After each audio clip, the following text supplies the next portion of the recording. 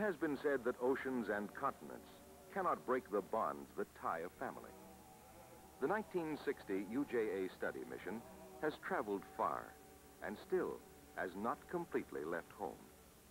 On that high hill overlooking Jerusalem, the mission honors the grave of Israel's modern prophet, Theodor Herzl. William Wagman recalls the moment for us. Today, all my uh, hopes for all those years, I was hoping someday to come to Israel. And uh, today, I went to to the to the grave of Dr. Haas. And they gave me the group gave me the honor to lay uh, a wreath under Dr. Herzl's. It was the biggest surprise of my life. A visit to Israel holds many surprises. For Harry Shirkin, it was an unexpected meeting with a relative he had all but forgotten.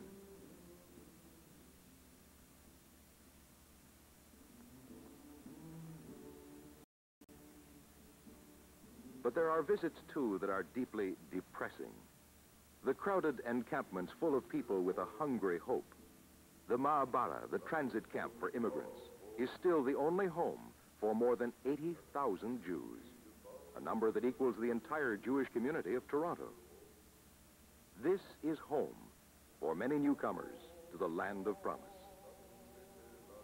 Surely to God, as Jews and as people, we should do away with this this mess that I've seen here this afternoon. Even in their miserable, primitive surroundings, the people of the Ma'abara may look with hope to the future. A great deal is being accomplished, and this they know will belong to them.